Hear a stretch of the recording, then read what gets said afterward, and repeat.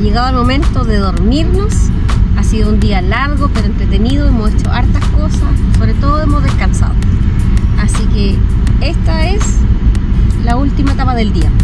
¿Cómo dormimos dentro del auto? He mido un metro setenta y uno y duermo a lo recto, no tengo ningún problema. Y para poder cubrir un poquito del frío, le vamos a mostrar esto. Vamos a. Para los pies le colocamos en el portalón le colocamos una cosita que en los vidrios, no sé cómo se llama. Y en las ventanas ya le colocamos por lo menos acá una toalla. Acá una toallita, ahí una casaca, a nuestra espalda de la Jime y chaleco reflectante, lo mismo que al frente. Al frente también le colocamos un reflectante para que eh,